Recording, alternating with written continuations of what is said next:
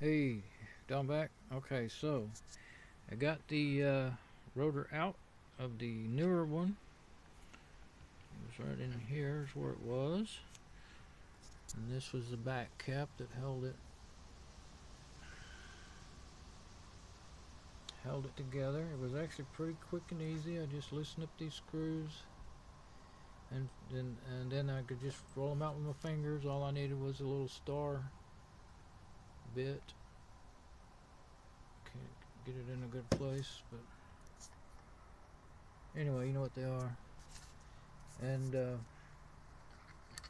kind of wants to stay. It's magnetized a little bit. And see, that whenever you turn it on, that's what I was saying. If you, I mean, uh, electric motor people, you know, electric, electricians and, and electronics people know so much more about this. But anyway, that's an electromagnet sitting there like that. That's what that is. Course, this one's nothing. Don't do anything. But uh, of course, that's not how it's being used as an electromagnet. I mean, you know, the rotor, the stator. Well, the let's see, yeah, rotor. Well, this is what I call. This is the rotor. It rotates. Uh, I'm pretty sure I got that part right. Of course, this one looks real good. It's all clean and and not worn or anything. We'll get the other one out and see what it looks like.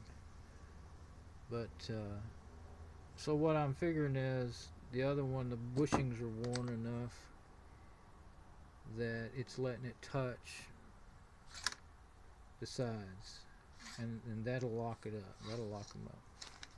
So and this one's not even energizing so evidently it's got bad windings in there. They got they burned up. That's what I guess.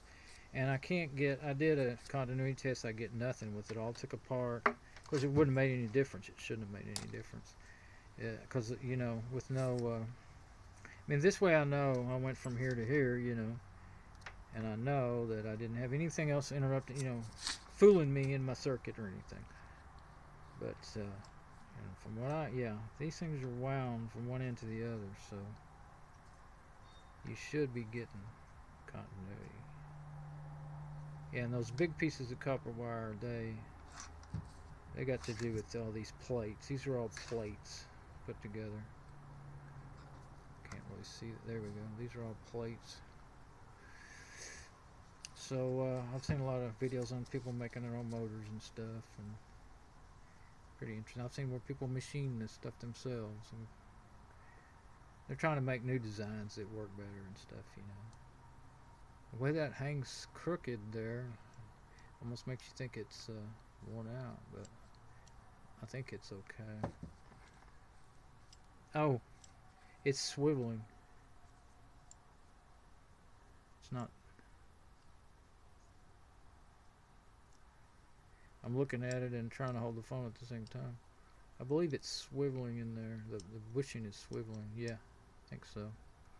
I don't think that's that the uh, shaft is that one. Yeah, I can see it right there. Can't see it. I don't think you can see it on the video, but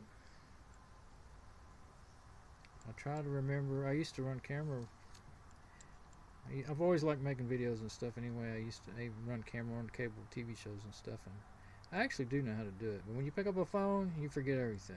so anyway, yeah, it swivels. So that's not a sign of wear there. Okay, let's get the other one apart. And what I'm wondering is, can I put this rotor in the other?